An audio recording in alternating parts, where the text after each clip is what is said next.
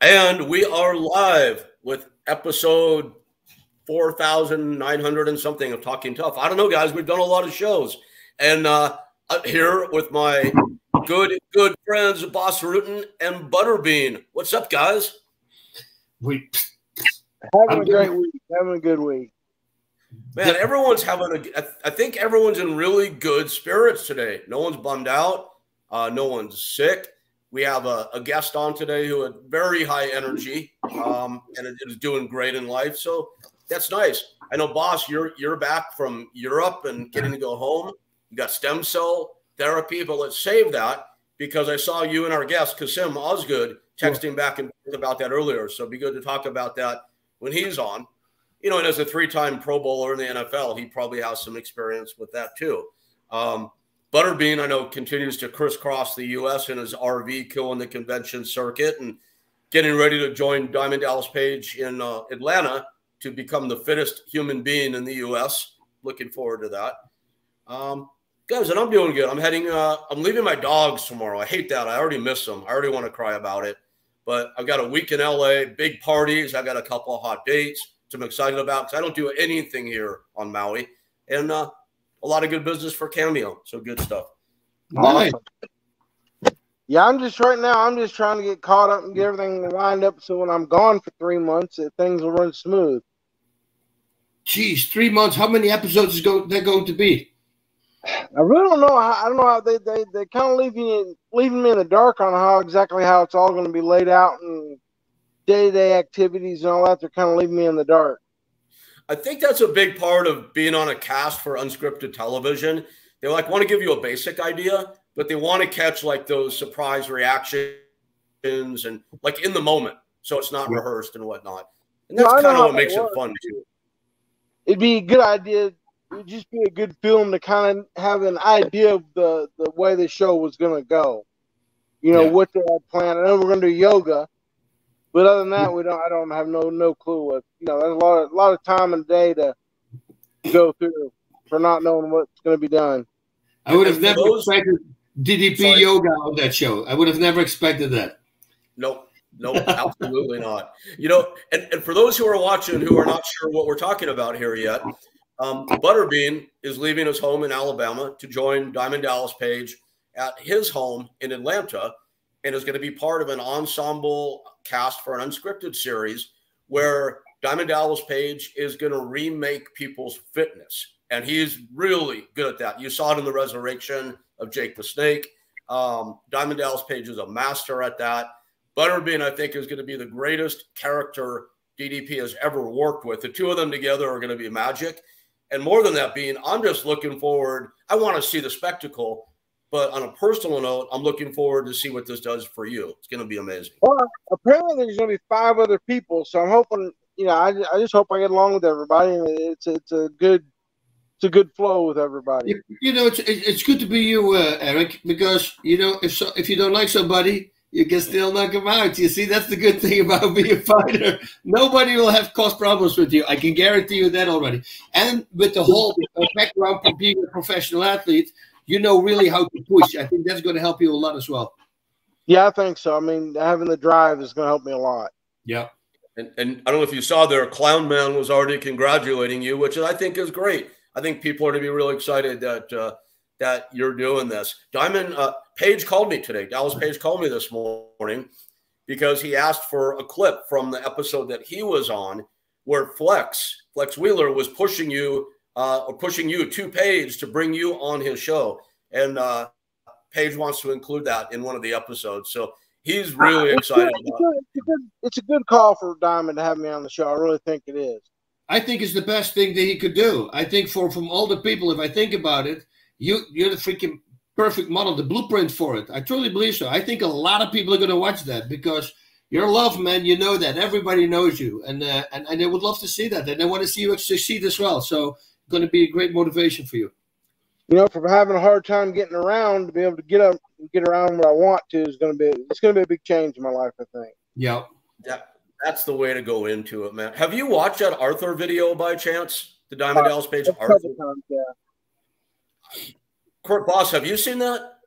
No, I've seen a bunch of stuff, yeah, from them. That's it's it's crazy transformation. You mean the hip hop guy, or which one was it? No, the, the guy, the ex, uh, the, the veteran who was He like was a parachuter. 400 pounds. Sorry, Bean, go ahead. Set, tell him. He Bean. was a parachuter, and Oh, he injured himself on, on you know on some of the jumps. That was the first guy he had, right? That made him big. So Yeah, yeah, no, I saw first- that. Amazing. It's the one that put DDPY on the map. Yeah, this guy, 400 pounds, couldn't walk anymore. I mean, just in horrible condition. And at the end of the video that went viral, the guy's doing wind sprints. He looked like Yeah. a different person. It was amazing. Yeah, was walking on crutches. I mean, he was a different guy. He was half the size now, less almost. I mean, how many pounds did he lose? It's got to be in his over he 200 lost, pounds. lost 170 thing, I think. Jeez. Yeah. He lost a lot of. I, me, I mean, I know I'm gonna lose. I'm gonna lose some more weight because I'm I'm back on you know my my regimen where I'm dropping three to five pounds every week. I mean, I'm doing real good now. So the weight loss is not the factor. I think just getting up and be able to do, learning how to do the yoga and be able to move around and get more flexible is gonna help me a lot. Yeah. Well, you're going to have to signature move. You know, when you grab your foot and you're going to stretch the leg out, we want to see you do that in three months. no pressure. And, Good. and, the, and the wind sprint also. Don't forget the wind sprint. Sure enough. All right. Right Good on. deal.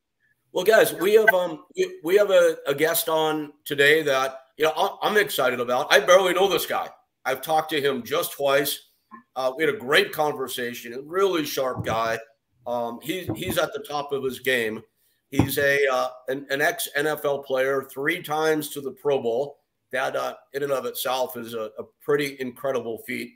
Um, I know, like many of our friends and some of us, he uh, came up from a bit of a rough background and uh, absolutely came out the other side of it. And I think it's uh, time we uh, bring him on and put him on the firing line. Our Bring guest today, on. out of California, is Mr. Kassim Osgood. Kassim! Boom. Oh, Oh, do we have volume? Kassim is on mute. Ah, there we go. Rookie mistake. There you go. Dang it. rookie mistake. I'll accept Paul Hazing. Kassim, how are you doing, man? Thanks for joining us. I'm doing great, man. I appreciate the offer to, to come on the podcast, man. This is a good time for me to be able to get away from the two young ones. I got a four, Ooh, how old are they? a three-year-old and four-year-old. Whoa, the terrible twos are just behind you, but still now they're over. Oh, a little dangerous, yeah. Boys, Yeah. girls, You know, you know Another why thing he's I bald-headed. what?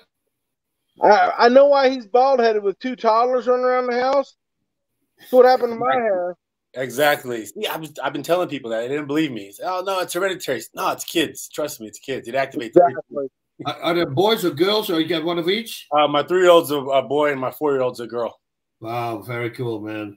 That is Uh-oh. crazy. Is the uh, is is the girl is your daughter beating up your son? Uh, she was until I I explained to her that he's going to get bigger than her one day. So then I had to sort of teach her how to mold him into being a gentleman, so he takes care of her. Yeah. At, at four at four years old, did she get that concept? Oh, 100 percent because she switched Wow. right away. She started being really nice to him and sharing stuff. She's like, okay, now Kasani, when I'm sharing with you, you have to share with me now, right? He's like, yeah, yeah. Oh, Oh, good love job, man. training him good. May- Yeah. Maybe you can maybe you can train me and Bas and Butterbean to be nicer to each other. Hey, man, I know Bas. I, I grew up watching Bas and Butterbean. These guys are, are legends in my book. I mean, we have that Bas Rutten machine has been in there. I've watched my brother every day for years. Beat the crap out of that thing. And this is the big guy. He's bigger than me. Yeah. Beat the crap out of the machine, and it's still standing. You know, it's, and that's what all the people say because you know when they see me hit, they think, "Oh, it breaks." I broke two of them, and this is over a course of like nine years, and I kicked the freaking head. Yeah, So- I see the commercial. That's why we bought it. Nice, I love it. That's Well- always good to hear. Very cool. Bas, are, are those still available, Bas, for sale? Yeah, yeah, they're on uh, bodyactionsystem.com. Body Action Systems, systems or system? System without an uh, with the LTS, no plural. Bodyactionsystem.com. We'll put that on the edit afterwards, so it's uh, on the crawl. Um, how much do they cost? I have no clue. They're like, uh, awesome. yeah, no, because there's all different types that you can do. Like I have a, si- I use it simple. I have the hat, the body pad, and the body pad is what it does. It has shapes on it. So if you hit the, left hook to the body, the liver shot in the shape that the pad is angled, you hit the perfect punch. Then you have a solar plexus aim, and you got also a spleen shot. and then the head bounces like a real head, so you can make really fast combinations, but it's always there, but it moves. And then the, it's it, it's a thin, how you say it, frame, but it, it takes that it needs to be thin because it takes all the power, it absorbs the power, and that's why it works so well. And uh, so I have the simple one with two hands on the side as well, so you can hit those things. And normally I would tell the people kick that because if you kick the head, you need to have good technique. Because if you drag a kick through, you know, so you can break anything, you know. So you have to make sure that you pull the kick, of course, and that you make it a nice kick. But otherwise, just kick the the focus mitts on the side. But there's people also that have the focus mitts below, so you can low kicks. You can do that as well. You can build it out as crazy as you want, and it goes up and down in every size. It's uh, it's pretty cool. But I think they're around 300, 300 bucks. That's not bad at all. Yeah. Um, you know, oh, there it is right there on our screen, bodyactionsystem.com. And for those who didn't get it, body, B, action, A, system, boss, boss, body action system, obviously. That's. Um, now I, geez, that's the first time I find that out. That's crazy. right. Sure. Yeah.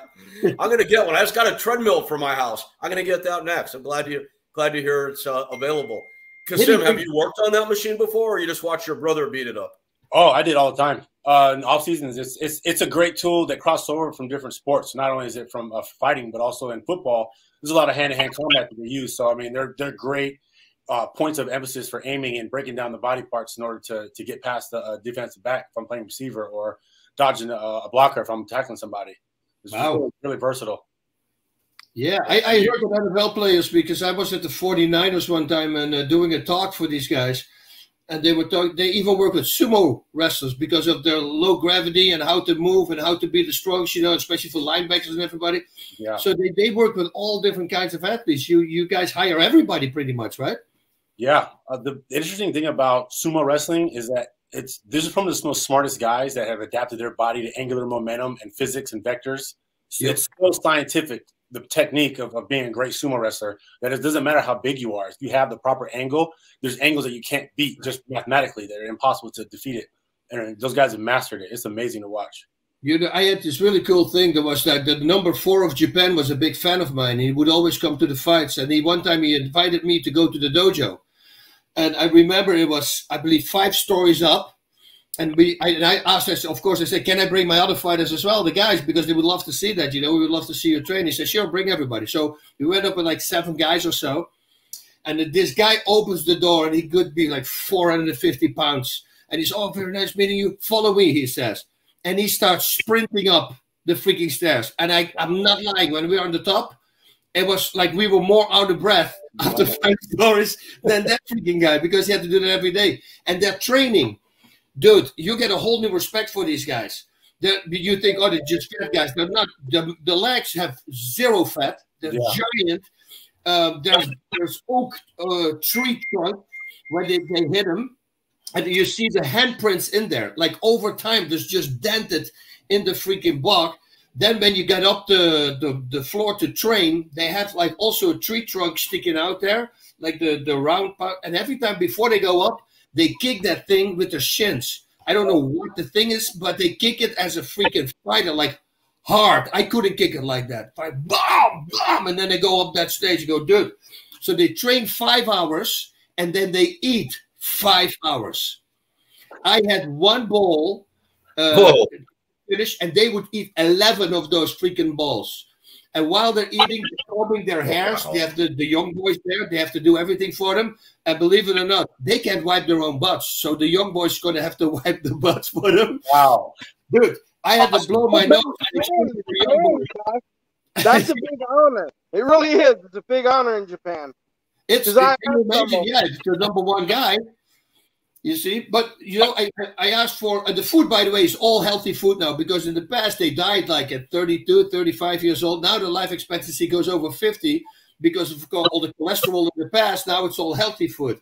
Yeah. But I remember I had to blow my nose and they scream at this young boy and he comes back with the with fingers like this and a roll of toilet paper on there and I could pull it up. Dude, it was a crazy, uh, a crazy thing to see. Crazy respect for these guys right now.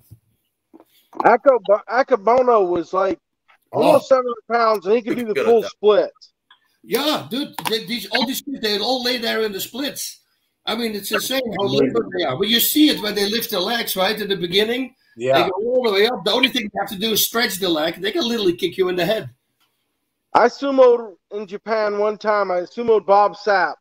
Oh, charity, charity sumo wrestling event. Who won that? I, I can at least say that I've done every kind of combat sport there is. That's fantastic. What happened in the What happened in the sumo match with you and Bob? Did you destroy him? So I didn't do so good. I would think you would beat Bob Sapp. Now, how is it that Butterbean never fought Akebono in Japan? That would have been a good one, man. Yeah, me and Sapp was lined up, but he backed out. Yeah, Bob wasn't going to fight you. I knew that. I, I talked to him about that a bunch of times. Bob's a great guy. He's a good friend. Kasim would have been good in the prize fighting championships. I enjoy the way I look way too much. I have a lot of oil of Olay to this face. No, no, my, my hat's off to you guys. I mean, uh, I've always respected uh, the sport of, of, of, mixed martial arts. It's something that you have to have been doing since the beginning. It has to be like when you first start walking, you start kicking. You know what I mean? So it's one of those things where I think if you're going to be the best at that, it has to be something you specialize from day one. And for me, I, I got into football. Football was the, the first love. And I dedicated my life to, to playing that and perfecting it. That that's where I can kind of take out the uh, the prize fighting energy there. But I have to have the helmet. I do I do like my face the way it looks. Yeah, but you, that that I, I think it's all. Uh, we were talking, I think, that about it last week or the week before, the last time I was on. You know, with the football, when they say what is proper rugby or football, but it's it's football, and they say yeah, but they have protection. Yeah, but because of that, that you get rammed way harder than you get in rugby because in rugby you're going to break a bone, you're going to break something, so they cannot go full out. But with the protection, that makes it interesting because then you guys figure 40 yards or 60 yards, four seconds, like a crazy, crazy number, and a guy like that running into somebody, yeah, that's going to cause some damage. Oh yeah, yeah, definitely. It's, but also, football players are doing. I mean, Matt Mitrione, Brendan Schaub, you know, they were football players, and I think you guys are incredible athletes. So I think it's easier for you guys to go into a martial art than for some other uh, pro athletes. Yeah, it's uh, I was uh, when I was young. I remember I was 18. I first met Chuck Liddell. I was uh, I was a freshman at Cal Poly San Luis Obispo, and I was over at Slow Kickboxing. He was doing a demonstration on how to do leg uh, leg kicks properly. When I put my leg out there for him to kick the pad, they wanted to demonstrate on me. And I, I was at 18, so and I was just trying to figure out how to form muscle on my body. kick my leg, and I remember going to off-season workout uh, that week, and I could, not run. The coach said, "What the hell happened to you?" So, you know, so I was doing a little uh, demonstration and got hit. and he's like, "Come on, good. You got into fight at the bar, huh?" I was like, "Nah, this guy named Chuck Liddell kicked me." Yeah, I was like, "Why'd you say something?" I was like, "Because it was a part of a class." So, what are you doing? Going to get you? You, you paid to get your ass whooped? And he's skid line. But I remember the whole week I had a lump in my leg that was so thick in there, and it was through the shield it reminded me that hey man uh, yeah it was a shield too. Yeah hell he's like hey this is not what you're supposed to be doing. So just stick to football. Get your, uh, ipads in there. You're good to go. Yeah. I, I, got a lot of respect for the, the, the, technique and the power and like the the speed of, of people. Like I, a lot of people say well, i can get in there and do that. It's like i in my own mind i say i probably could do it but i have to train a whole lot but i'm not just gonna jump in there and do it because i got a lot of respect for it well, you're I mean, you're you're at the very you're at the top of one of the highest sports in the world, so you obviously understand what it takes to compete at, at any real level. How, first of all, how, how what are your stats? What's your height and weight? Because um, six five two forty. Six five two forty, which is a good size for a fighter. Great stats for a fighter. Actually. Yeah. Um, I mean, you're long. There's a lot of target there, but that, that's all right. Yeah. I, I told myself if there was one I would pick, it'd be Muay Thai. That would be the one I'd want to stay in that area and kind of use range to yeah strike and, and block and shore up that little shield right there. Did you your your your brother uh, Trajan and Kevin is the older brothers? Were do they did they do everything um, uh, something in martial arts afterwards? No, my uh, older brother uh, Shane, uh, he's a um, correctional officer down in San Diego, but uh, he's also a uh, boxer. So he was doing um, semi-pro boxing. They had like a um, Battle of the Badges boxing circuit that he was uh, a champion of at one time. So he was doing a lot of boxing. He still trains uh, to this day, but he, he just he, this Bas Rutten system is that's his baby. Every oh, day he spends more time with that thing than, than anybody. And then when the dude advice is called the O2 trainer. it helps with your build your lungs. That's what it needs now. It needs to buy one of them. Oh, I'll I'll send you one, uh, Kassim. There's a big um. I invented this this uh, muscle training device for your lungs. It's uh, well, we talked about it before on this show, so we'll uh, we'll stay with you. But yeah, I'll I'll send you one, and uh, you should really do that because it's really going to change you. Especially if you do, if you do for a month straight, it's only four minutes a day. Yeah. then you, you don't think you're ever going to stop anymore because it, it it's it's that effective. It's pretty crazy. oh yeah, I understand that. When you um when you retire from playing, you know, when you retire from the the height of, of competing, your your levels uh, automatically you get distracted with other things in life, and you don't train the way you used to train when you were paid to do it. So I've noticed a, um, a, a degradation in my sleep, my sleep patterns, and oxygen I'm getting at night. And I know it's it's attributed to my, my lack of training during the day of the, getting the maximum oxygen in there. So that that thing would definitely I would love to join, try. it. You You think bet- with two dollars, you sleep like a baby. Yep. Yeah, it's a big difference. You're going to get the, the the chances that you're breathing wrong is 95 percent because 95 percent of people breathe wrong. I was breathing wrong. Everybody does. So just it forces you to correct breathe, and that means you're going to get up to five times more oxygen in your body. And that, that's a big difference in everything, in healing and coming back from COVID to nowadays. A lot of people are raving about that. So yeah, I, I think you're going to like it. I'll send you one. Yeah, I remember once once I started hearing about COVID, I got on that treadmill and I was running. I told my wife, I said, "Look, I'll outrun any virus there. I'll just start sweating it out. It's gonna come out." Did you see? And, and what was that on TV? Where did they say, "Hey, be healthy. Take your vitamin E. Take your vitamin three, three, and zinc." You know, they're always talking about masks and all that stuff. Go out and train and be healthy. You know, that's Right. that's the best weapon against it. That's what I thought. Hey, at the end of the day, we all know now that all it is is about your body fighting it off, Yep. no matter what. Gotta Hundred fight. percent. And So, okay, Kassim, back back to the football reference. You you you hit the heights of that profession. You played in three Pro Bowls. I mean that that's major.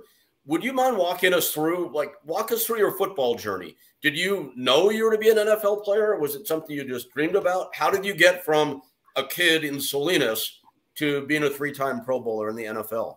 your your brothers told you that you were going to be one, right? In the NFL, I read. Oh, from day one, yeah. I was uh I was youngest of four boys, and I have a younger sister as well. So that's how I kind of maintain my humanity. But being the youngest of four boys, I was always the one that got picked on or beat up the most, or you have to go and do this, or take the blame for this, or we're gonna kick your ass, something like that. So uh, I just took that on and said, you know what, I'll, I'll be my brother's keeper, and I'll prove him wrong by being the biggest one out of everybody.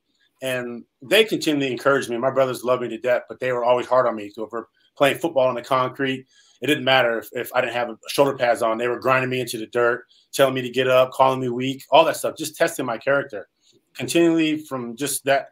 I mean, they took um, they took sibling rivalry to the next level. It was either you're gonna you're gonna either start winning or we're gonna make fun of you. And if you get second, we're gonna make fun of you. So either you win or you get made fun of.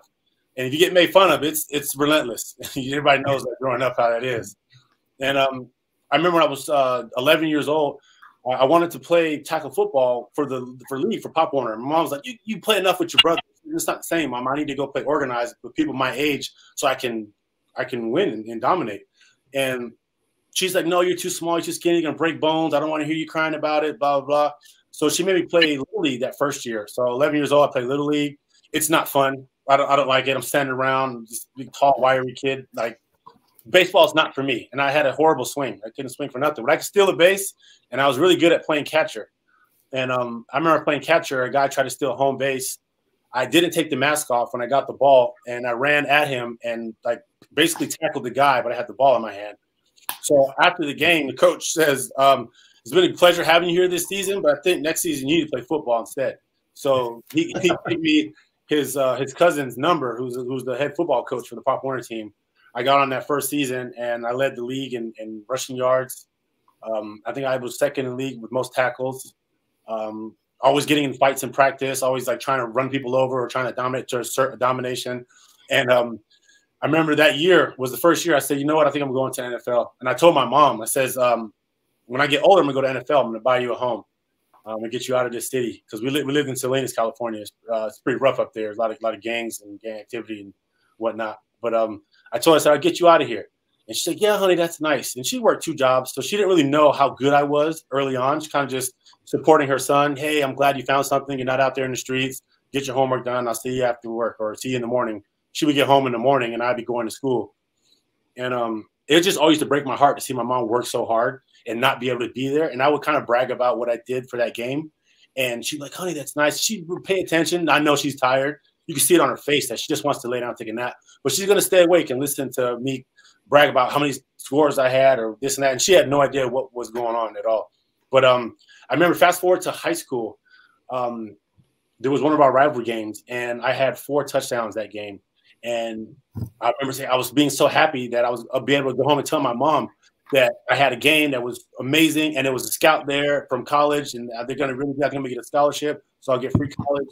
And I remember as I was walking out to the gate, I saw her there, and she was crying. She's like, "I finally got to see you play, and you didn't tell me you were that good. I didn't know you were that good. Everybody's yelling your name." She's like, "What's going on? Like, you, you are you are you shy?" I like, "Mom, I know you're busy. What you got going on? This is something I've been doing you know, is this what it is? And this is what I love. And uh, I, th- I think I'm going to go far in there. So she said, you know what, whatever you need from me, I'll help you. So getting into college, um, my mom still worked when I was in college as well. Uh, my brothers already moved out and it was just her and my sister, but she was always sending me money and she would take care of me. She worked in extra time, over hours, like busting her knees up. Um, she had to medically retire once I got to NFL because uh, her knees were just, uh, they're done. She just had worked herself to the bone. And um, yeah, I mean, I, I help my mom. I make sure that my mom's taken care of, so she doesn't have to worry because she put did a huge sacrifice in my life for me to get there. And I always attribute the, the inspiration of my brothers who are always strong there for me. You know, make sure that I wasn't out in the streets hanging with the gang members. Um, I remember my brother buying me my first pair of Air Jordans, uh, and I know he didn't get that by just working at the uh, Olive Garden. You know, he just, you know, they, they worked and made sure that I didn't have to. They got me to be able to be sheltered. I was kind of sheltered from a lot of the bad stuff, and my brothers took a lot of brunt of that. And you know, they, they kept uh, riffraff away from me growing up, so that I didn't have to deal with that. And yeah, I mean, it was a it, it, was a long journey. It's not just myself to get there. And then when I got there, I was undrafted, so I I broke my hand my rookie rookie season. Uh, broke my hand as a receiver. You break your hand, you can't make the team, can't catch. So I had to make it uh, playing special teams. And I remember Marty Schottenheimer.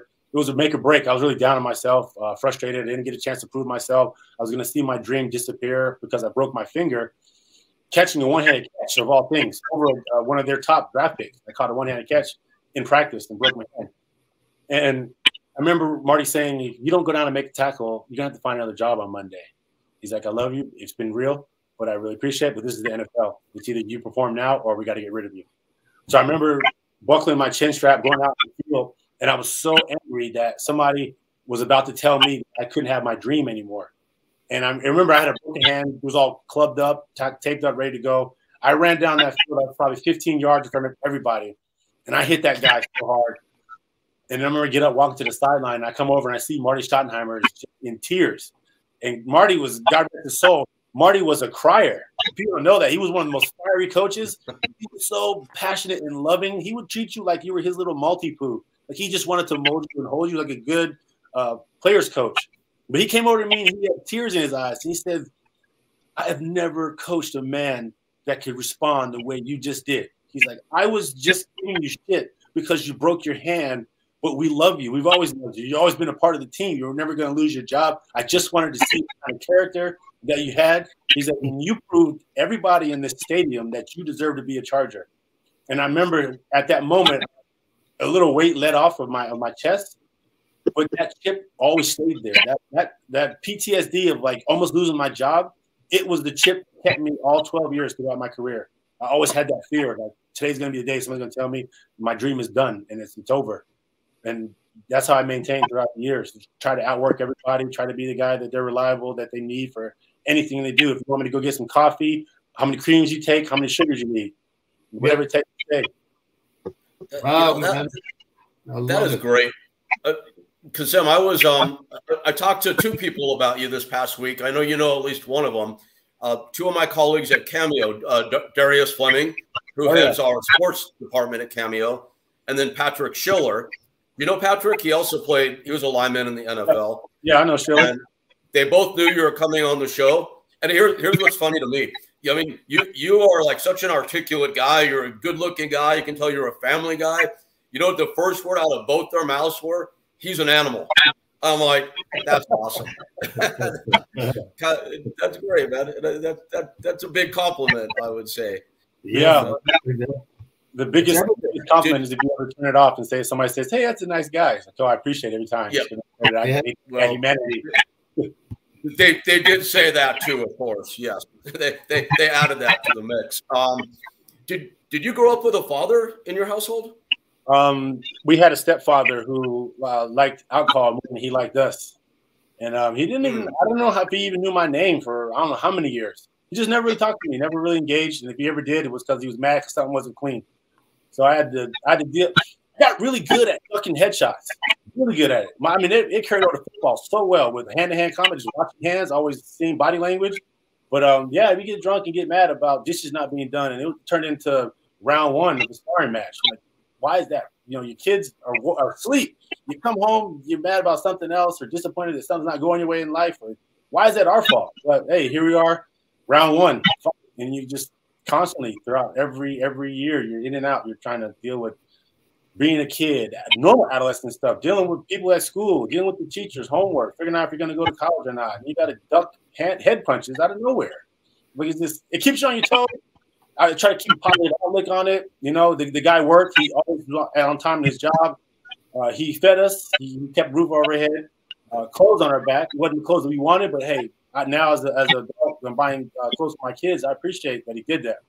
But yep. it, it, was difficult, Shane. There wasn't really any type of um, role model, so to speak. I had to find my coaches and uh, my older siblings. Those are the role models that they had me. A lot of teachers that were there for times where I get, I don't know why I'm so pissed off about something. I'll, I'll get a B in the test, and I'm a perfectionist because I have to be able to get my mom out of the situation. So everything had to go perfect. So if I didn't get an A, it was a major misunderstanding. I had to let the teacher know what is going on with this B. Like, there's something that I did or didn't do, and maybe it was, maybe you didn't explain it right. I remember teacher got offended that I said that. I was like, because I'm paying attention because there's just something on the line bigger than just me getting a grade. This is my life. Like I need to be perfect in everything. And I think that was just compensation for not having the best coaching at home. Because my mom would coach and she was damn good at it, but she only had so many hours in a day that she could monitor the development of it and then work as well. Wow. Okay. You, you have like a 4.17 GPA, right? That's great. 4.1, 4.1 GPA It's crazy, man. Very cool. I've, I've, got a I've got a hard question for you, and I'm, I'm going to really do my best to phrase this the right way. But so you grow up in this house. Your mom, and obviously she's a good mom, but she's not there very much. Your stepfather was, as you described, alcohol, and there's some violence. You have there's four young black men, boys before you were men, growing up in an area that's gang infested how do you guys stay out of that? Um, but the love, my mom, my mom was my mom was a pit bull, but she was she was vicious and tough, and she knew how to coach right with the limited time she was given. She was a maximizer. She got ten minutes before she gets to work. You can get your ass whipped, told what to do, and told what you can't do anymore, all within that ten minutes, and she'd be able to fix her hair back right and get out the door looking good and smelling good. My mom was real, she was on. And I think without that that good side, bad side, we would we would have turned a lot more violent. And then I, I think uh, I attribute to sports and after school programs and after school volunteers, like volunteer coaches. They were everything for me. I would not be in NFL without volunteer coaches. I mean, it's just it's impossible. Impossible to not have some other distraction just pop up out of nowhere. Walk into school, you just get beat up, and then all of a sudden you get tired of it. Now you want to join a gang, so you don't get beat up anymore. It's just, I mean, every which way looking. And luckily, I had my gang already. My brothers and their friends always knew that I was a little different because I was getting into talking about planetary alignments and systems and gravitational forces. And they look at me like, you gonna play Madden or what? So get out of here then. You're not gonna play Madden. And I don't know video games. I would just always be reading books and stuff. but um, you know, thank you my brothers. My brothers were were highly intelligent, were very street smart, and they they kind of just shielded me from a lot of stuff. And I attribute the ability for me to get to uh, the level I got to because I've always had them as protectors. They must be really uh, proud of what you achieved, not only on the field but in life. I would imagine. Oh yeah, yeah, definitely. When my, my brothers are, are, are great father figures. My my nieces and nephews are some of the most respectful kids, and uh, I love it. I mean, I, am a good parent because I watched how my brothers have done it, and I waited till I retired to have kids, and I, I watched my brothers go in through and in throughout the trials, and just I mean, they were remarkable for not having their own dad teach them, the kind of self taught through my mom and how to be strong as a dad. And where where's your family now? Your mom, you're taking care of your mom, which is that's got to be incredibly gratifying. where where is everybody located? Are you all close? Or are you all spread across uh, the U.S. Um, these days? So so uh, everybody's in San Diego. Uh, I'm in L- L.A. and my mom, my brothers, and my sister are down in, in San Diego, and they're all staying with uh, my other brother right now. Everybody's uh, consolidating because after uh, COVID and all that stuff happened, uh, people's careers had to get re-jump started, and he was still working at the prison, so he was able to provide shelter for people. He's uh, a great help in the family. I mean, it's just in my family, everybody always if everybody doesn't have it, none of us have it. So we always kind of stay together, and that's something that my mom taught us is that that unity, that that central position is the family first. I'll bet Christmas is fun in your household.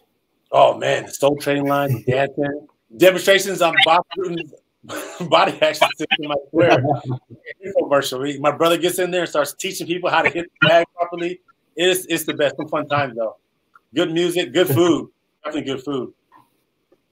Man, be, being where do you watch the game No, no. Where, where, are you watching the game uh, this, this Sunday? Uh, I think everybody's coming over to my house. Oh, okay, yeah. Because I, you know, there's always we're going to watch it with a bunch of guys. It's always fun over there. So there's an open invitation. but I know you're. Definitely, yeah. Super Bowl's going to be fun, man. It's going to be a, a, good matchup. And and and Bas and Kassim, in being don't feel excluded. You're on the other side of the country. You guys are both invited to the Cameo House party. Also, you know that, of course. So another option. Yeah, yeah, yeah. I'll try to get somebody to come watch the kids for a little bit my uh, father-in-law might be able to watch the kids step over to the cameo for a minute, do a cameo appearance. There you go. There you go. Make a cat. Yep. That was It's a journey for me though, Rick. I think I'll have to pass this time. You gotta give me more notice, Rick. What's up with this? Like your birthday party. I know. Kassim Butterbean totally blew me off for my 60th birthday party. Can you believe he did not drive from Alabama to California for that? I can't still can't believe that. Well, man, you know, we'll see how traffic works. Rick only give me one day notice that he's having a party. So. Then there's that. There was that too. True. And there's that. oh man. So um. So anyway, you're. Crazy why, shit. Why oh, by the way, I need to talk about the, the, the stem cell thing. We were going to oh, talk yeah. about that. Yeah. So what they did, um, they took uh, fat out of me. This was funny because normally it takes 15, 20 minutes. It took four hours and 20 minutes to pull 60 milliliters of fat out of me. They couldn't find any. They had to go everywhere. My butt, my side, I was black and bruised everywhere. And they finally had this little bag. And this guy said, This morning I took fat out of somebody's chin. And that was more than this. He said that it got out really fast. So, anyway, finally, after four hours and 20 minutes, they have that stuff. Then they start uh, copying your stem cells. So they're like 50, um, I think it's 50, 100, or 150 million. One of the doses I got yesterday, um, which what dose I don't know, but we we will. If it was 50 million, they're going to still give me the under 100 million once the, this whole test is over. This is the first uh, FDA approved test with guys who got hit a lot. And uh, uh, I, I, didn't get hit a lot in the fight, but of course in training you, you get hit sometimes if you train with guys like Peter Aerts and uh, Pedro Rizzo. I mean, these are freaking animals, you know. So, and I have to say, man, I mean, there was a guy, one of the guys uh, on the, the team that we had as well, had a stutter. And three days after the injections, his freaking stutter is gone. So wow. it's like crazy stuff. So they said you're going to get a headache. We were driving back yesterday from San Diego where it happened. Uh, I did get a headache, but I never get a headache. So I told him, I said, that's probably going to be very short for me. Now it's going to be a couple hours. It was for 30 minutes. And then I start feeling really good. I slept really good. I woke up with less pain, and my focus is also much better. So if this is just a little precursor of what's going to happen, I think it's going to be very, uh, it's going to be very good. I'm feeling, I'm feeling very, very tough. Like this morning, up again at five o'clock, working out at six o'clock. I was already in the gym just flew through everything, jumped in the starter, stretching a little bit, had a great start of the day. And uh, if this continues, I'm going to be very happy. Bas, yeah. where, where do you go for it? Uh, for stem cells. That was in San Diego. They, but the, the worst part, like I said, is because you know I did it before with my knees. They tried it and they pulled it out of my bones since I have almost no fat. So they put it out of your bones, but in your bones they have like 12 times less stem cells in your bone marrow than you have it in uh, in your fat. So this time they really tried to go uh, and find it, you know. So it, I have video of it, dude. You'll see it's like this going under your skin. I mean, they suck everywhere. I mean, it's horrible when you see it. It's like a, a, vacuum cleaner under your skin, and they just suck everything out. They tried to find it. It went over to my butt, on the sides of my body, my whole front. Everything was black and blue because they had to make these incisions everywhere, and of course, give you shots. Otherwise, you're in pain and then uh, but then they of course started bruising up. So you didn't feel a thing. It's not about that. There was zero pain, but it just looks very weird. And it was uh, yeah done in San Diego by some some guy who made the copies of it, and it, it's good. Like uh, a few friends of mine, Randy Couture did it also. I just signed up uh, yesterday. Chuck Liddell, he's going to do it as well. I said, dude, you got to do this because you know we all get hit a lot, you know, in training, and especially in fighting as well. So I think this will be a great thing for you. So uh, yeah, I hooked them up because that normally that will be cost you a lot of money. Yeah, I was just talking to Chuck uh, the other day when I was at uh, my uh, daughter's dance class. I called Chuck, and I, he was talk. I was telling, him I was going to tell him about stem cells, and he told me that he had already spoke to you about it. Yeah, that's, why, that's why I knew you had done uh, the stem cells. See how it went for you, because I, I, just became the uh, biz, uh, vice president of business development for um, Longevity Clinics Institute here in Arcadia, California, up here in LA and um, they have um, they do uh, stem cell from the cord blood. Uh, they've done uh, as a partner. They have a master file with uh, Louisiana State University, and um, they got FDA approved to do it. So they're just set up here in LA, and I don't think they really have any kind of competition locally in Los Angeles. So it's just, the technology is amazing. Uh, how they store is amazing. I mean, they were storing uh, vaccines as well because that's how that's how high up they are with their specialization there. They've got the store, sanitation, everything. It's a nice setup, but um, I know the, the value that stem cells can provide and exosome uh, exosome therapy. It's amazing the, the night and day. How, how, do the stem, how, do, how do the stem cells help? They're basically like the younger version building blocks of you. So imagine a younger, fitter version of you getting inside of your body and, and whipping everybody into shape. Basically, that's what they do. And, and, wherever you have an injury, they go to that. They know exactly where to go. And these are yeah. your own stem cells also. You can do also the umbilical cord stem cells. You can do that as well. And those are blank. And they, as soon as they see yours, they put, they make a copy of it. They're, so they become yours. And I did that as well over in Panama a long time ago. And yeah. I remember the person telling me um, the, who, who did it. She said, it's really weird. I get energy out of my fingers. And I thought it was just a weird thing to say. And then after my third treatment, because they do four treatments there in four days, and after the third treatment, I was calling my wife. I go, "Oh, I know exactly what she's talking about." I mean, every morning for yeah. six months, out of my toes and out of my fingers, boom, boom, boom, like a pulse. And the craziest thing was this: I had a 215 cholesterol level, and it was just tested like a week before. And then three weeks later, after I did my stem cells, we had another test. It was 150. It dropped like 70 points instantly. That's crazy you know a guy that I think would benefit from stem cell? I don't know if he's already done it or not. Would be our buddy uh, Dan Hendo. Oh, Dan Hendo, yeah, yeah, for sure. Yeah, I was just thinking about him to reach out to him and see if he would be interested in doing that.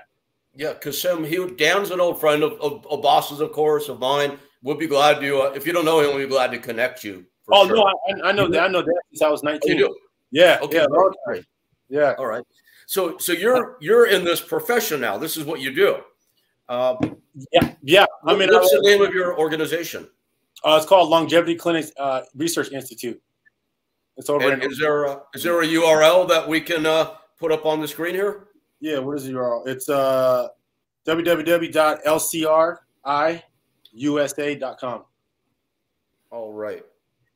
We got that. That'll be coming up in a moment, so we'll have that on the crawl. And anybody interested can reach out. Can they get uh, connect with you there? Yes, yes, definitely. Yeah, the uh, the CEO Ferris, he, he's a he's a guy. He's a, he was a former athlete himself, a former military special forces, and he said, "Man, if I was to go back and look at how many times I needed this on the spot, he said I'd probably still be doing what I'm doing. So thank God that he has a clock of his own, but we're able to go back in time and fix some of the damage and go back and kind of get some redos and reset buttons. So, I mean, I thought that was the best way to explain it. Uh, I think they're the great guys over there. The scientists over there are always encouraging people to come in and ask questions. They have a forum a room over there for people who are kind of you know new to it and want to understand it better. They have symposiums all the time. They have uh, guest speakers come and talk. So I think I, I, just love the fact that they rally behind the sports world and also the uh, the veterans and sort of they're, they're trying to inspire people to come in and learn about it so they can help. Is it ever too late to get started? Do we get to a certain age or get too broken down where it's just not going to help? Or is it always going to be a benefit? Well, it's always going to keep you within your range. So much like when you're going uh, to a, a casting call, you say, "Oh, well, can you play this range?" So yeah, you know, I can play 35 to 45, and they'll look at you like, eh, "You look like you're 54." You know what I mean? But uh, it's one of those things where you have a range that you kind of look, and people like, "Oh, well, if I was to guess how old you were, probably like 50." So you're taking stem cells on a regular, it could get you at that age back to looking about 45ish. So I say it gets you like maybe a, a five to seven range where it can kind of pull you back some years, vis- visual wise. Internally, what it could do for your body, I think, is endless based off of how much damage is in your body and how much it can get you back to your reset cells. Because it's only going to replicate the cells that you have available. That won't give you more. So you're saying that you're saying that I still have a shot at Deiveson uh, Figueiredo for the flyweight title then? Oh yeah, it'll it'll turn you back in looking like Bas. All right, there you go. Bas Thank you. Standard. I'm excited about that, Bas. You're gonna get me ready for that, okay? Thank you. yeah, there you go. Hey, um, so I'm gonna get you ready for you're a fan of, uh, of Butterbeans and Do you have any questions for them? Yeah, um, for for Butterbean, you've always been a fan favorite. Uh, do you feel like you've accomplished more than you put expectation on yourself, or you feel like where you're at is through hard work, and I would never second guess any decision I made through the course of my career? Wow, yeah, you know, I I've always been like the underdog a lot on a lot of the fights because of my size. They they they you know, they read the, the they look at the outside of the book, they don't read what's in the book. Yeah. I trained really hard. I mean, we were training two to three times a day sometimes, not counting getting up in the morning and my trainer following me on his bike and me doing my running in the cold weather. And I'm going, dude, let's do it when it warms up. He says, Yeah, the other guys are doing it when it warms up. We're gonna do it when it's cold, just to push you even harder. So yeah, I mean, if, if they knew the, the, the work that I actually put in, you know, a 450 pound guy ain't supposed to be able to, you know, go three rounds without breathing, breathing heavy. Yeah. Or four rounds. You know, it's just yep. it's it's it's fighting's tough. It'll it'll wear you out quick. Who's the fighter that you always wanted to fight that you didn't get a chance to fight? I've always wanted to fight Tyson. I mean, me and Mike are friends now, but I, I think that would have been a hell of a fight. Either he'd have knocked me out or I'd have knocked him out, but I've never been knocked out. So, wow. I know Bas is the guy that no one mentions. Like, oh, who's your dream fighter? Bas just hurts people. I think you hurt people too bad, and they seen that that liver punch. It's like, God. I remember asked, I was in uh, Chuck Liddell's hotel after he fought Randy the first time, and we were celebrating. And I said, "Who would you who would you rather get hit by? Bas Rutten to the liver or a ape biting you in the neck?" And he said, "Oh, hands down, I'll take the ape any day of the week." Yeah, Bob, Bob likes to, he likes them liver shots. That's for damn sure. It's because it crippled me. My first Thai boxing class, some uh, some A class fighter was my professional. He uh, and me with my karate hands here. He hit me in the head. I overcommitted, and he knew immediately that I was exposed, so he dropped me. And I was never dropped like that. I never knew what the body shot was, and I go oh, shit. And then I um, I asked him, of course, he said it's the liver shot. And then Ramon Dekkers is, to me, is the greatest Thai boxer ever, who unfortunately passed away, he started just drilling people with body shots, liver kicks, knees to the body.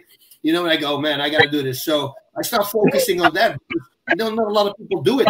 It's such a big weapon, and especially a little bit later in the round when people start breathing heavy, you know, because they can't really flex at the moment of impact because they're getting heavy. And if you hit somebody on the inhale when he's inhaling, yeah, that's it. You're out you know so uh, yeah that's how it came to, to to be but it was just me getting dropped by one Wow. What was your favorite uh, arena to play in? I mean, to fight in. You know, there's two. And, uh, and I, I, I defended all my titles in there. That was the greatest thing. Uh, Cheap Trick played in it, live at the Budokan. Remember, I want you to want me. Yeah. And I, and later I found out Ali fought Inoki, Antonio Inoki there. And I thought, dude, this is so freaking crazy. And that's where I won my title and I defended it against Frank also there. Yeah. Uh, I love that. And then the sumo arena. The sumo arena in Japan, I just, you know, Google it and then look at the picture. It's, it's just such a beautiful place. And also, there they had those big trees in the dressing room for the sumo, sumos. And the same there, all the handprints, the, the completely dented in from them hitting it. But it was just a beautiful place, everything with chrome pipes where people would sit, you know, and uh, just on their butts. That's how you would fight, uh, watch the fights there. They had these yeah. giant paintings of these big sumos over the years, those legends everywhere around. Yeah, it's really worth the, to, to, to Google that. The Sumo Arena in Tokyo. Beautiful place. So yeah, those two places were the best. Right, check that out. I think I think I love fighting in Japan better than anywhere too, Bas. Well, you fought also in the Korakuen Hall, right? Oh, the small little place. In Tokyo, I fought. I, I fought in Japan probably twenty times total. Wow. Yeah, being, did you fight? Because Sam, I used to corner for Bean in Japan, and he would fight um, in in the indoor domes with 60, 70,000 people with Japanese yeah, legends on the show, and Bean oh, was always the most popular fighter there. Always. Oh, so fun. People, people go nuts. Hey, Bas, would you believe that I actually headlined a show at Korakuen Hall, a pro wrestling show against Hashimoto? That was my biggest oh, thrill of my entire career because I wasn't a fighter or a wrestler. So I kind of lucked into that situation and uh, headlined Korakuen Hall. That was pretty exciting. Dude, and if you ever go back there, that, that's that's below the Tokyo Dome there, right? And you got the Tokyo Hilton Hotel, the, the big hotel there, the Tokyo Hotel.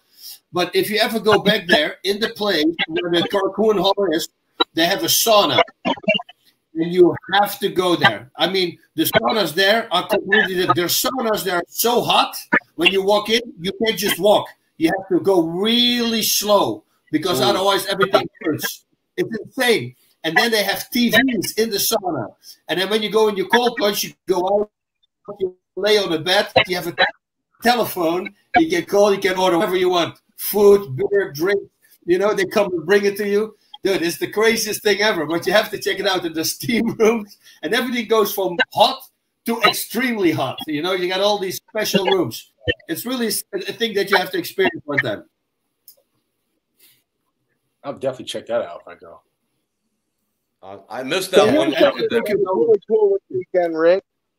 You said I what? was on the Tonight Show, but it wasn't really me. But it was somebody dressed up like me. Oh yeah. Oh yes, I, I, I saw that. Bean sent me the, the clip. Johnny Knoxville was on as a guest, and uh, the the host James uh, Corden was leading him through an obstacle course to get from backstage to the front of stage and things were flying at them. People were jumping out. They were replicating Jackass, and oh, they, come, wow. they come around a corner and they have a buttermeat. Well, they tried to have a butterbean look alike. They didn't hire the right guy, in my opinion. But um, but, but it paid tribute to you, which was pretty cool. And of course, that's when Johnny Knoxville lost it because we all know what happened when Johnny Knoxville met Butterbean. Busted him. Great. Didn't go well. Great. Sometimes, sometimes those jackasses were too crazy. I mean, the new movie I hear is crazy again. They do some things. My my daughter saw it, and she said that. I mean, the things they still do, it's, it's pretty amazing.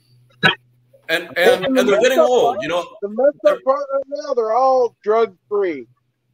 Wow. So and they're still doing it you, you you never would thought that Johnny Knoxville would, would, still be alive and going. He's getting old too. You you saw him, but um, oh, yeah.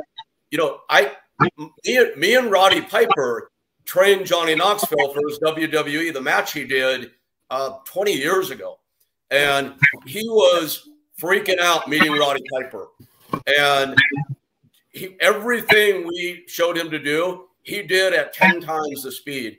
And he's like, "Oh my god!" He wow. goes you you pro wrestlers are, are, are crazy. And I looked at this guy, I go, dude, I don't think I've ever said this to anybody, but you are crazier than any pro wrestler I ever met. Talk about a fucking animal. Oh my god. This guy was uh this guy was off the chain. It was really something. Beast. That's a big thing got, saying, man, because yeah, but, but if you're saying big crazier than pro wrestlers, because like me, I told this before, I started doing pro wrestling in Japan also for New Japan. And in the first three matches, I already had injuries. My wife would say after the third match, she says, "Go back to real fighting. You never had these injuries that you have now." it was crazy. These they were insane. I mean, Scott Steiner and all these guys, his brother, dude. I mean, the things they did, and the stories, the stories you heard. I mean, I don't even if I can say stories, but uh, if I even can say it, I mean, You you go that straight out of a movie script. Like you go like I do not want to be there at that moment. Like people just start shooting suddenly in the hotel in the in the, in the ceiling. You know, or waking up with an uh, with someone. It's not funny, but it's like it's insane, and that's why it makes it funny. But it's really not funny situation. But there's that girl who overdosed in the room, and they slept for two days straight, and then they smell something, and they realize there's somebody dead in the freaking room, and I go like, dude, this is the most insane thing I've ever heard. Wow. Yeah. Yeah, back in the old days, it was kind of wild. Yes, and and and doing it 220 shows a year, and that and that's a low number for these guys. That's without traveling. And then yeah. you listen to guys like Stone Cold Steve Austin because they pay you 50 bucks, right? And he had to go from show to show in his car, buys a big bag of potatoes, and he would eat those potatoes raw while he would go to the next show and do perform there. And all these guys were doing that. And we only know the big names. But all the ones you know as well as I do, Rick. I mean, that's got to be, I mean, the level that makes it. What is a five percent compared to all oh, the other? Yeah, not not not even. And yeah, and Bas, you said fifty bucks. Fifty bucks would have been a good payoff back in those days. A lot wow. of it was twenty dollars. And and Bas is describing it exactly right. Uh, in, in the height of WWF's days, before they changed to WWE, when, when they would sometimes run two shows a day. So there were actually guys working 400 plus matches a year with big drives in between. But the lower card guys who would follow around and just trying to get in the business, these are the ones that you're talking about. $20 sometimes. They get to an arena, they have to help put the ring up. Oh, so wow. They're, they're, they're part of the ring crew. Then they go work their match. They get the shit beaten out of them because that back in the day it was like that's how they broke wrestlers in. It was a whole different world then. Yeah. They beat the hell out of you to see if you're tough. And then you drive to the next town, put the ring up again, get the shit beat out of you again, get paid your 20 bucks, and go crash in the back of your car with your potatoes or your tuna fish. That was a life. And 20 bucks included travel money. Wow. Oh, yeah. Yeah. Yeah. yeah. They'd have four guys to a car, five guys to a car. If they got a motel room, it'd be all the guys. You can imagine five giant, stinky pro wrestlers sharing a room night after night, living on tuna fish. That's that's not that's, a scenario right there. Yeah. Real. So, yeah. Sim, it sounds glamorous. Did you ever think about being a pro wrestler? I did. I grew up watching it. I was watching wrestling when I was in college. Uh, I transferred from Cal Poly to San Diego State, and I had to sit out a year because of the uh, cherry picking clause. So I remember every Thursday night watching SmackDown with my 12 pack of uh, Miller High Life. And I mean, it was everything. I remember people coming in my room like, You're not going to go to the bar. What are you doing here? So I'm watching wrestling. Yeah, you're such a little kid. You don't watch wrestling anymore. like, Get out of here. These guys are better athletes than you ever dreamed to be. And I mean, it's just, it was fun. It's always been fun. So my, my, um, my grandma used to take my mom and her brothers when uh, they were young. And then I'm going to take my kids as soon as they get a little older. I mean, it's just, it's been the family for forever. And, and you never found your way to a pro wrestling school to try it out? I thought about it, but I just really love football. It was something about football was the first love. But I mean, I, I was still the, the, same kids at the YMCA trying to moves and get in trouble for putting people in DDTs. So yeah, yeah it's fun, fun, to practice in theory. Well, I can safely say you made the wise choice, no doubt about it. yeah. what was your highest, like your highest achievement in football to you? What meant the most to you? Uh, what meant most to me, I believe, would be um, the first hundred yard game I had. Uh, it was my rookie year, and um, it was looked like I was getting a lot of playing time because I had David Boston in front of me, and um, he had David Boston, Reche Caldwell, a bunch, a bunch of uh, star players. So was I wasn't really getting a lot of playing time my rookie year. But then when I got in the game because uh, David got injured, and um, it was a last minute thing. I had practiced, I knew the plays, um, knew everything, knew the time for the quarterback. But uh, I just kind of expected not to play receiver. And I remember my coach telling me, he's like, you know, you always be ready. Never know. And I guess he knew something. He just kind of nudged me that day. So I was really excited. Oh, man, if I go in, I know this and I hope they call this and that. And this would be a good play. And sure enough, I get in there. Uh, David's injured. And we're playing Pittsburgh in Pittsburgh. It's uh, Sunday night football. And um, I get in there and I make a hell of a plays, get a 100 yard game, uh, rookie year. I was super excited. It was uh, it was just to know that I got to the NFL was one thing, but then to get that first hundred yard game and to score a touchdown uh, in the same game was just it was it was a high high point for me. I mean, I went on to get Pro Bowls, and we were been in uh, really tough games, playing tough opponents. But I think that was just the okay. Now you you proved to yourself that you're good enough to be here. Now let's just stay here. But I think that uh, got I got there to that point, and it, made me, it really made me proud of myself. Wow, man. So, what what's the next chapter of your life look like? Where do you see yourself five years and ten years from now? Uh, right when I retired, I got into acting. Uh, I took a year to do interning uh, behind the scenes for learning how the camera works, being on set, um, just protocols, like you know how how the structure happens, and I uh, just wanted to become a better actor myself. And um, it's helped me not only in, in, for professional, but also in my personal life. Uh, I have an acting coach. Uh, I don't know if you're familiar with Glenn Morshower. He was Aaron Pierce on the show 24 on Fox, yep. and he's also the dad in Resident. Um, he's a remarkable coach. he's just a, a great friend of mine as well, and he sort of told me once you're done with football, you know, you got you may have a future in acting if you treat it the way you treated football. So yeah. um, I'm just you know, right now I have young kids as well, so balancing the two, I put my kids first before the career. So the career is moving a little slower, but rightfully so because I want to be there for my kids to give them that encouragement that I didn't have because I think it's, it's pivotal to get them that, that head start in life uh, and have a good good footing so um, I've been doing a lot of dad duty. So I, in, in five years, I see myself as the head of the PTA, the head coach of the football team, the head coach of the women's basketball team, and also running up for dad of the year. and, and, and, and, and accepting your Oscar all at the same time. Yes, and luckily I'm bald, so I'm just gonna make it an Oscar. Look at that, Bas. Father of the Year award. I got one right here. Solid yeah, gold. See, it's a real thing. It's a real. That's well. Look, I, I we're um we're we're running uh, late on our time. Uh, so you you have these great role models in your in your brothers, even though your dad wasn't there. You um you had great coaching, and you you talked about the value of that. If there's a kid in back in Salinas right now watching this, and let's say he doesn't have the brothers that you had, he's on his own, and he he's he's on the edge. What what could that kid go do to have a chance to turn it around? I, I say just um, well, first off, you have to be honest with yourself. See what's your drives, what's your passion, what motivates you, what what really gets your blood going. What is something that's hindering you right now from being happy? You have to identify that. And if it's yourself, you have to be real with yourself and say, I'm not happy because I'm not seeing where my blessings are. So recognizing your blessings, understanding that your situation is unique to you. So don't feel like somebody's going to come and tell you every answer you need because it's not going to work that way. You're going to have to figure out where to pull the information to be your own answer. And on top of that, look to the people who've done it. Whatever you want to do, look to whoever's done it already. And then you ask them if you have the chance to ask them, or you do your research online, find out how they got there. What was their pitfalls? What were their hangups? Um, there was a time for transitioning from football uh, to losing that and losing sort of part of my identity, but not all of it. I knew where I wanted to go after football, but you have to know what's your exit strategy because I, I kind of let my exit strategy catch up on me before I was able to jump on top of that. And I, I, I was drinking a lot and just kind of down on myself and, and kind of upset that I wasn't where I thought I should be.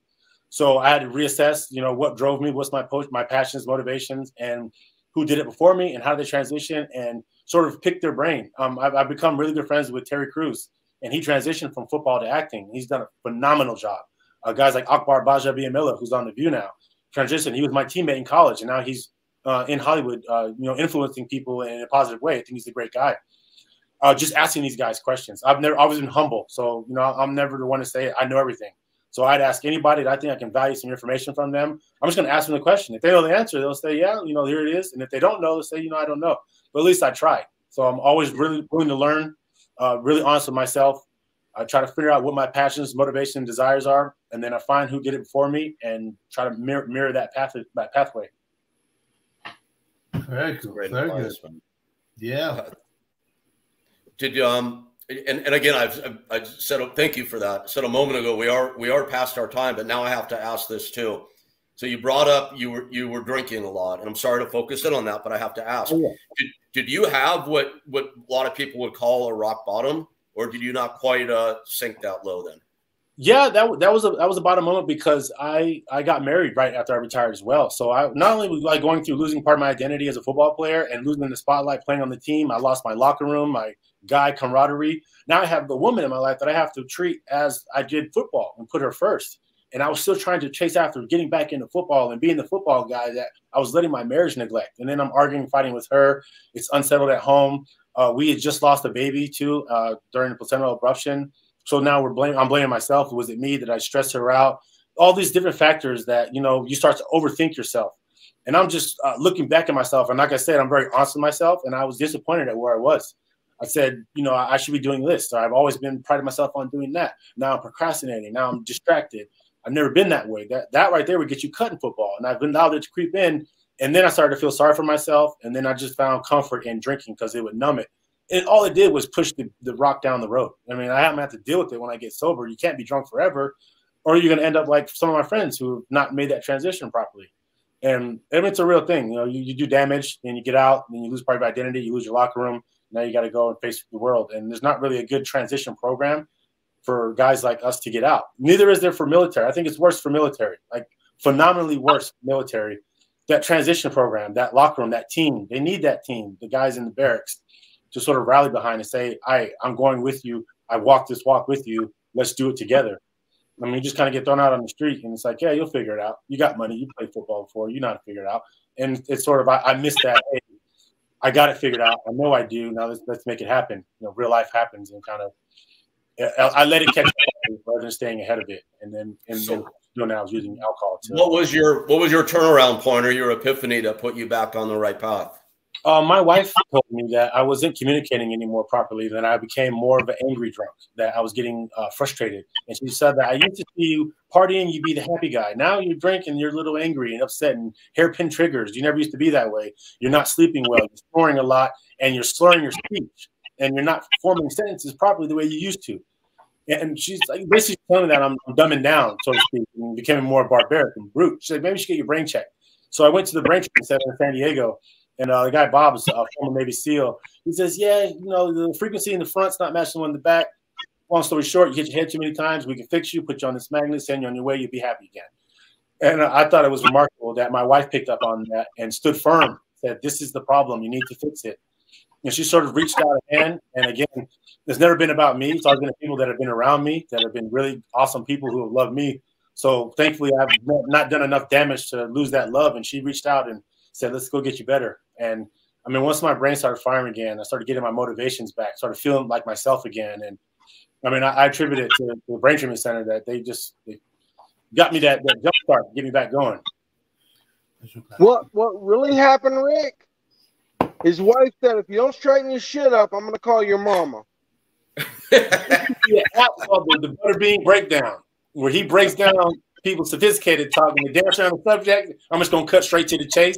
Why I say you don't show up, you gonna trip you out. Dude, that's fantastic. I, I, I have a friend going through it right now. I hope you heard this. Thank you for that, man.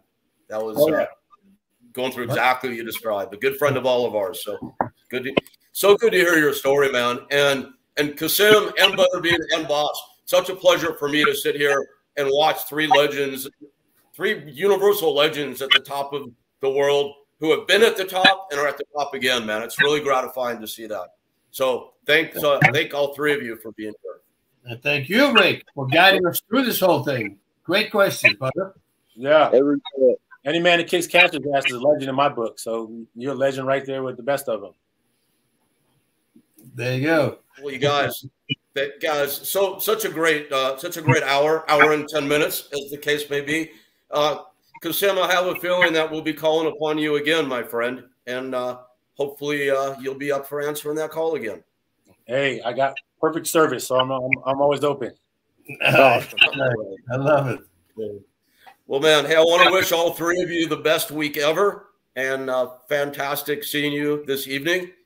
And uh, I think it's time to let everybody go because we are past our time. Big thanks to uh, our producers, Rachel Sartoris, who did an amazing job as always. And thanks you, thank you to John Paz, who I know is out there as well. So signing off from Bas, where are you? California, Westlake Village, Ventura County.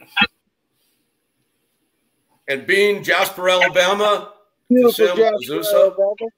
Yeah, I'm in I'm in Azusa, USA. Whoa. There's a being a Jasper myself on on Maui, Uh, want to wish you all a great night and a great week, and we're signing off from Talking Tough.